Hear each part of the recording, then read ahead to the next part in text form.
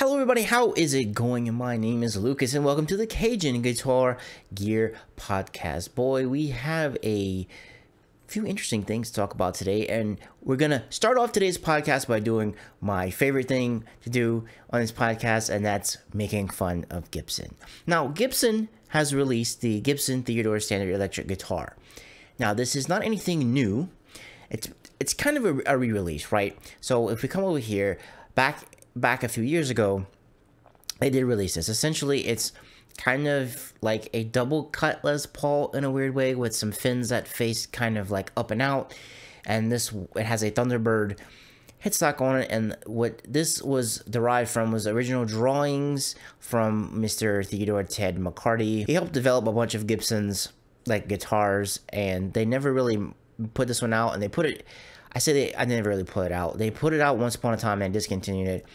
Well, they re-released it, and I honestly don't know who asked for this because this guitar kind of reminds me of like a, a Les Paul at home, just kind of like a double cut. It's just so awkward looking.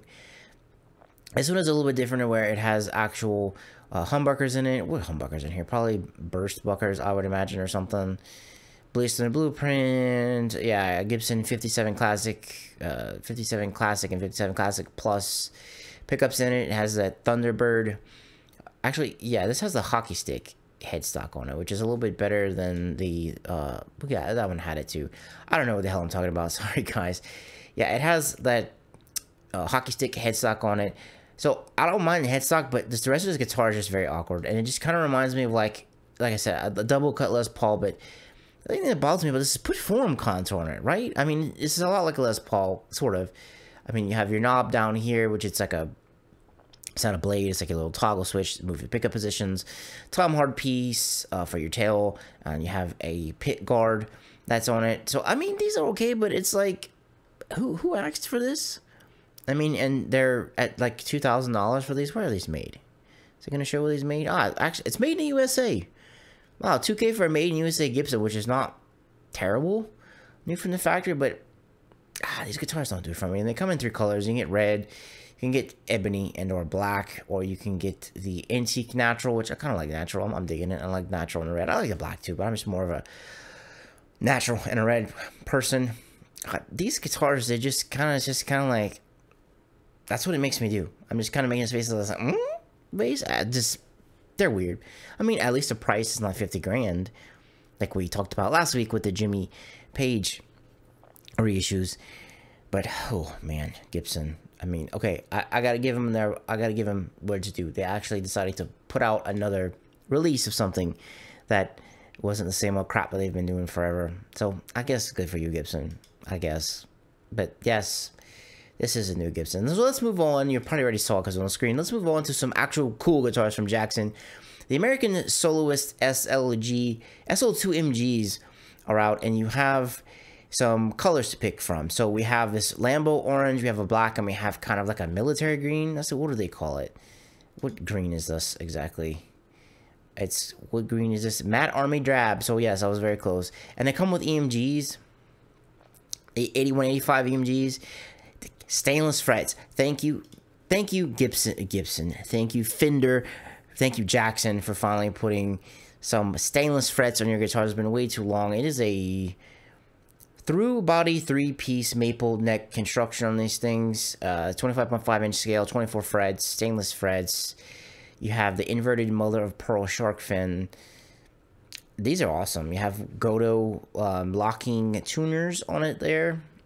These are great and you're looking at about 2600 for them which for this guitar made in the USA that's a good deal because most other things that are like this are probably about a grand more so good on you Jackson for keeping the price kind of low. I like them some of my YouTuber friends got these and they they look really awesome. This is a win. This is an absolute win. Like these are awesome. They have awesome colors awesome features. You have some EMGs in there this is good. This is cool. I like it. I love it. I would buy the orange if it were me because I think that's cool. I love the shark fins on it. Um, tell me what you think about these. I think this is this is hitting the spot. You're looking at 2600 for American made. Has some cool pickups, stainless frets. This is good. All right, let's move right along. We're gonna keep it fast, keep it quick today. Line 6 has launched the new Catalyst CX guitar amps. Basically, what this is is you get 12 amps that are derived from the Helix. They're actually going to take the firmware that's on here that's going to be updating the older Catalyst too, which is nice to see. They're keeping the firmware on the old ones updated too. So you have 24 quality effects on here and it does you have a tap tuner and XLR out you have power input for powered speaker MIDI functionality two channel USB recording interface and power output options and you can also have a desktop editor well this reminds me of to tell you the truth it's kind of like a, a spider line 6 spider evolve is what this reminds me of which is really cool so the amps in it you have clarity and arc archetype clean mod aristocrat Grammy Mako Karen Elimsley. All these names are, are weird. Oblivion, the Oblivion amp looks cool. Dabadonk, which I think that's reference to the big bottom. You have Kinetic, uh, 2204 mile, which is, I imagine has a Gibson amp of voltage. So the names are kind of weird names, but I guess you can kind of figure out which ones that they're modeled after. I like that it is an interface. I had never really dug deep into these amps before, to be honest with you, before I really like started doing the podcast and paying kind of more close attention to gear, but I think these are awesome. Like this, for someone who is just starting out, this is a great amp. If you need something for like playing in like a worship group or church, this is a great amp. If you want something to keep at your practice space to jam with your band, this is a good amp. It just it kind of covers a bunch of different ranges and you have everything from badonk and you can get some normal type sounds too. Um, let's listen to it a little bit. This is from the uh, official video from Line 6.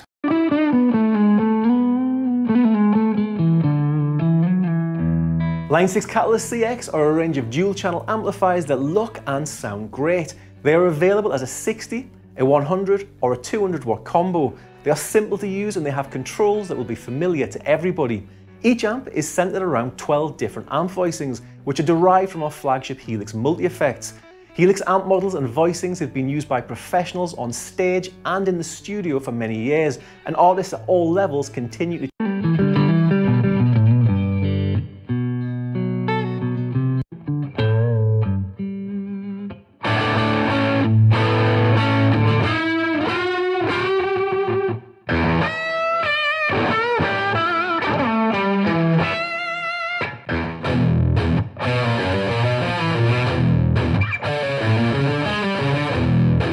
Each of these amp voicings also has its own custom boost, which has been chosen specifically for that voicing.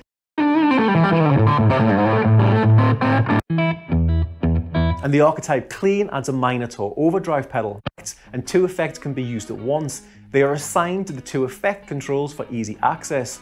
Catalyst CX has six different delays,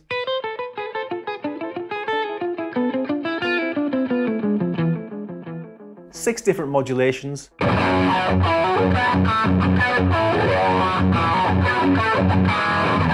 Six different filter synth pitch effects.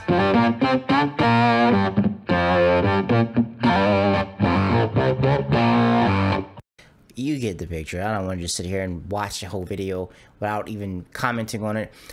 I think these are great. What is the price of these things? That is what I would like to know. Let's um, jump on over to Sweetwater and check them out. If you would like to buy any gear, actually check my link in the description. I am a Sweetwater affiliate. I have links in there. You can check them out, and I get a tiny kickback. I put that back into the channel. I get so I keep giving you good content. So let's look at this. For the 112, we're looking at 300. For the 200 watt, we're looking at 500. That's not that bad. It's seriously not like I said, three hundred dollars for the the sixty watt one twelve. Bank it. That's that's good. That's for what it's given you and all the different options. Like I said, this seems like a grown up line six spider for me, which I constantly make the, the meme joke that the line six spider big bottom is one of the best tones ever made. I kind of actually want to get a line six spider and put it through his paces, which every other YouTuber's done. And Glenn Fricker's taken one and smashed it because he said it sounded like crap. But I kind of want to do it for my own fun. The coolest part about this to me is that the older catalysts are getting updated. This is the new ones. The older ones are getting updated with the same forever, like I said before, which is really cool. Uh, last but not least, the only little quick riff that we're going to have is some great news for those of you who have a Quad Cortex. The Quad Cortex plugins that have an X on the end of them will finally be added to the Quad Cortex. Finally, this is the things that they promised when they launched it. It's finally coming to fruition. So I know it's like Nameless, Soldano, and I know Gojira too. It's the two plugins that receive an X update. For, yes, Fortin Nameless and X and the SLO 100. Those are going to be available before CoreOS. So basically, the CoreOS update. So basically, if you have these, you get the free update. If you buy them from them, that's what you get.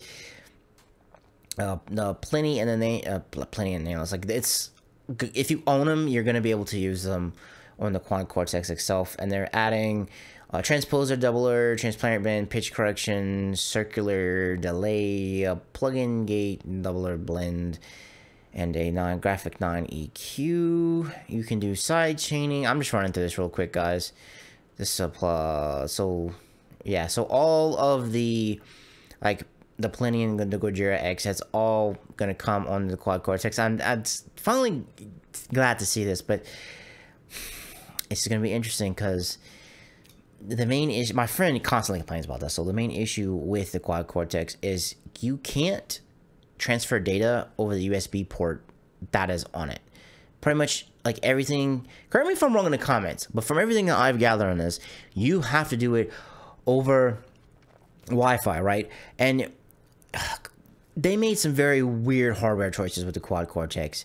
It only has a 2.5 gigahertz radio in it. And for those of you who don't know, there's two types of, of Wi-Fi channels. Typically that is used. It's 2.4, which is the older. It's a little bit slower, but it goes a little bit farther. And you have the 5 gigahertz. The 5 gigahertz is a little bit faster. You can get some, you know, gigabit speed. You can approach gigabit speeds on the 5 gigahertz. Well, they cheaped out and they only put the 2.5 gigahertz band in there and apparently it's very bad my friend constantly says it disconnects it like stop downloading which which is ridiculous because people complain about it and they're like right next to their access point on their wireless router and it's really bad I don't really understand that. I don't understand not being able to transfer stuff over the USB port. Like USB 2 speeds are, you know, they're 400, 400 megabits per second, 480 megabits per second. I mean, that is not the fastest in the world. It's not gigabit, but hey, it's faster than doing it on Wi-Fi. And a wire is going to be way more steady than what Wi-Fi is going to be typically. So that's some of the hardware choices I made. But hey, I'm, I'm celebrating. I am on your side, Quad, Tech, Quad Cortex people. You're finally getting the plugins in there.